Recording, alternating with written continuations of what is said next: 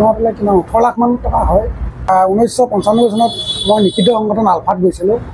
আৰু তেতিয়াই মোৰ নামটো একচুৱেলি দীপক চাংমাই দিছিলে দলে।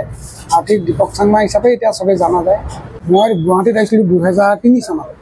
তিনি চনত। আহি কিছুদিন ইফাল সিফালে কৰিলোঁ কাম বন কৰিলোঁ। সকলো ভালকৈ হেৰি নাছিল। তাৰপৰা তেনেকৈ কৰি কৰি তাৰপৰা সোতৰ চনত দোকানখন আৰম্ভ কৰিলোঁ।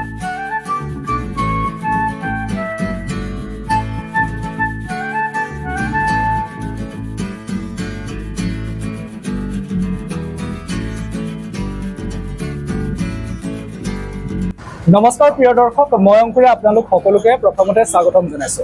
আজি আপোনালোকৰ মাজলৈ লৈ আহিছো এগৰাকী সফল অসমীয়া ব্যৱসায়ীৰ কাহিনী। তেখেতৰ ঘৰ হৈছে তিনিচুকীয়াত। গুৱাহাটী মহানগৰীলৈ তেখেতে দুহেজাৰ তিনি চনত আহিছিল কিন্তু বিভিন্ন কাম কৰি আছিল কিন্তু দুহেজাৰ সোতৰ চনত তেখেতে এখন হোটেল আৰম্ভ কৰিলে আৰু এনেদৰে তেওঁ এজন সফল ব্যৱসায়ী হিচাপে গুৱাহাটী মহানগৰীত প্ৰতিষ্ঠিত হ'বলৈ সক্ষম হৈছে। এতিয়া প্ৰতিমাহে লাখৰো ওপৰত কেইবা লাখ টকা উপাৰ্জন কৰিবলৈ সক্ষম হৈছে আৰু তেখেতৰ নাম দুটা তেখেতৰ নাম দুটা এটা হৈছে কৰুণা বৰুৱা আৰু এটা হৈছে দীপক চাম্মাই। এই দুটা নামৰ আঁৰতো আছে এক বিশেষ কাহিনী। সেই কাহিনীও আপোনালোকক জনাম। আহকচোন তেখেতৰ সৈতে কিছু কথা পাতোঁ। মোৰ ঘৰ তিনিচুকীয়া তিনিচুকীয়া বৰলাইপুলি চাংমাই গাঁও আৰু মোৰ নামটো কৰুণা বৰুৱা এনেই দীপক চাংমাই বুলি জানে চবেই তো এতিয়া দীপক চাংমাই নামেৰে চবে জানে আৰু। মই দুহেজাৰ সোতৰ চনত দোকানখন আৰম্ভ কৰিছিলোঁ। দুহেজাৰ সোতৰ চনৰ পৰা ওঠৰ ঊনৈছ বিছ তিনি বছৰৰ পিছত আৰু লকডাউন আহিলে। লকডাউনত কিছুদিন বন্ধ থাকিল। তাৰপৰা আকৌ একৈছৰ পৰা আৰম্ভ কৰিলোঁ। গ্ৰাহক দিনত পাঁচশ চাৰে পাঁচশ হয় দিনত। দিনে ৰাতিয়ে মিলাই ছশ হয়। প্ৰথম অৱস্থাততো মই ছিংগুলকৈ দিছিলোঁ অকলে আছিলোঁ। তাৰপৰা লাহে লাহে লাহে লাহে ক্ৰমান্বয়ে কাষ্টমাৰ বাঢ়ি গৈ আছে গতিকে মোৰ ষ্টাফো ঠিক তেনেকৈ বাঢ়ি গৈ আছে। গণেশ শৰ্মা বুলি মই সহায় কৰিছোঁ। তাৰপৰা ভাস্কৰ হালৈ তেখেতৰ নাম ক'বই লাগিব। প্ৰত্যেকটো মুহূৰ্তত যিকোনো মানে পইচা অভাৱ হ'লে কিবা হ'লে ভাস্কৰ হালৈ বুলি এজনে দিছিলে গণেশ দাই দিছিল গণেশ শৰ্মা। প্ৰথম আৰম্ভ কৰিছিলোঁ মই এক কেজি গাহৰি দি। মই আৰু এজন ল'ৰা আছিলে কি নাম আছিলে এতিয়া পাহৰি লক্ষী বুলি এজন আছিলে। এক কেজি দি গাহৰি আৰম্ভ কৰি এতিয়া আৰু যায় যথেষ্ট। আপোনালোকৰ ইয়াতে কি কি পায়? হাঁহ পাৰ কুচিয়া ছাগলী গাহৰি চিকেন সেই পায়। কিন্তু ব্ৰইলাৰ নাপায় পাৰ পাব।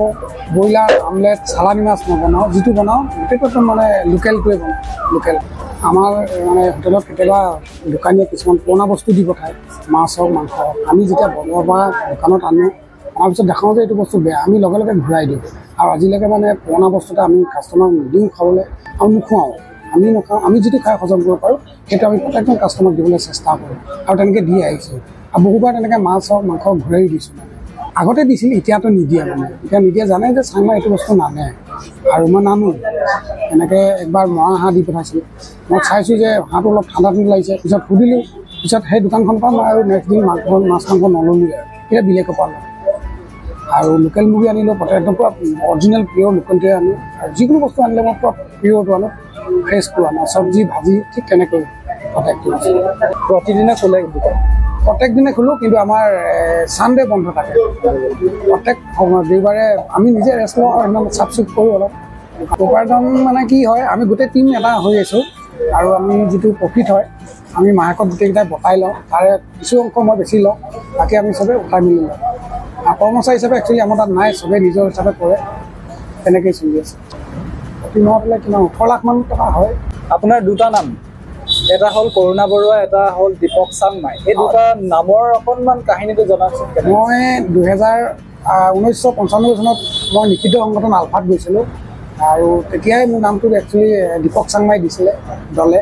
আৰু ঠিক দীপক চাংমাই হিচাপে এতিয়া চবেই জনা যায়। আৰু মোৰ অৰিজিনেল নাম কৰুণা বৰুৱা। মই গুৱাহাটীত আহিছিলোঁ দুহেজাৰ তিনি চনত। তিনি চনত। আহি কিছুদিন ইফাল সিফালে কৰিলোঁ কাম বন কৰিলোঁ। সকলো ভালকৈ হেৰি নাছিল। তাৰপৰা তেনেকৈ কৰি কৰি তাৰপৰা সোতৰ চনত দোকানখন আৰম্ভ কৰিলোঁ। এতিয়া পাঁচ সাত বছৰ আনি গৈ আছে। এতিয়া সোতৰ চনত কেনেকুৱা আছিল? গ্ৰাহকৰ সংখ্যা তেতিয়া খুব কম আছিল। কম আছিল। আৰু এইখিনি হোটেল নাছিলে মোৰ আছিলে। খুব আছে ডেইলি কিমান? দহ বাৰজনে খাইছিল। হয়।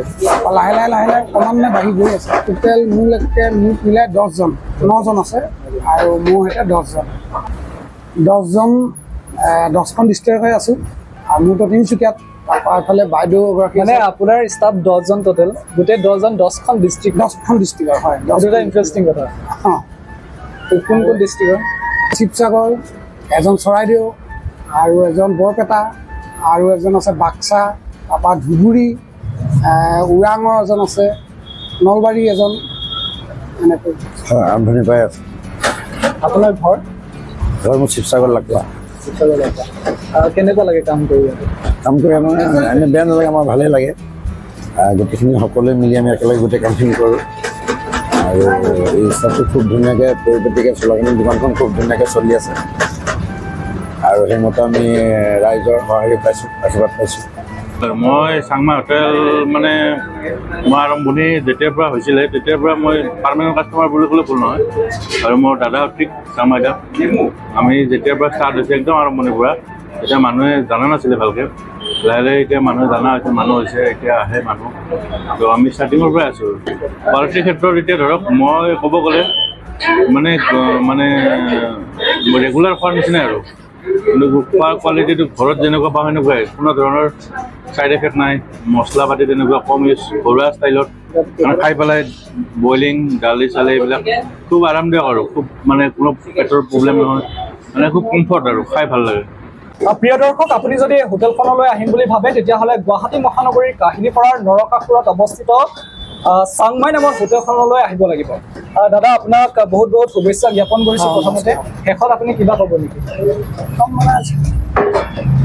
কি ক'ম আমি? বিশেষ কোৱাৰ অভিজ্ঞতা নাই। ক'বলৈ মানে এইটো আহক আপোনালোকে আহক খাই চাওক। কেনেকুৱা হয় আমাক জনাওক। আৰু আমি সদায় এইটোৱে দিব বিচাৰোঁ এটা ভাল এটা সুখাদ্য এটা দিব বিচাৰোঁ আৰু সেইটোৱে আমাৰ কৰ্ম বুলি আমি ভাবোঁ। হয় মই আৰু এটা আপোনাৰ প্ৰশ্ন সুধিব বিচাৰোঁ। যিসকল এতিয়া অসমত বহুত লাখ লাখ নিবনুৱা আছে তেওঁলোকে কিবা এটা কৰিম বুলি ভাবি থাকে সাহস কৰিব নোৱাৰে বা যিকোনো কাৰণত তেওঁলোকে আহিব নোৱাৰে। আপুনি খুব একদম সৰু অৱস্থাৰ পৰা আপুনি আৰম্ভ কৰিছে। যিসকল যুৱক যুৱতীয়ে ভাবি থাকে কিবা এটা কৰিম বুলি তেওঁলোকৰ বাবে কিবা ক'ব বিচাৰিব। যিকোনো কাম কৰিবলৈ হ'লে একচুৱেলি আত্মনিৰ্ভৰশীল হ'ব লাগিব কি আত্মবিশ্বাস থাকিব লাগিব। আৰু সেই আত্মবিশ্বাসৰ থ্ৰুৱেদি এদিন সঁচাকৈ সফল হয়। আৰু আমি সফল হওঁ বুলি কোৱা নাই পৰা হোৱা নাই চেষ্টা কৰি আছোঁ সফল হ'বৰ কাৰণে। হয়। আৰু আপোনাক বহুত বহুত শুভেচ্ছা জনাইছোঁ আৰু ইমানখিনি সময় দিয়াৰ বাবে ধন্যবাদ জনাইছোঁ। প্ৰিয় দৰ্শক আপোনালোকৰ মাজৰ পৰা এই মুহূৰ্তত মৰম কৰি বিদায় লৈছোঁ। ধন্যবাদ।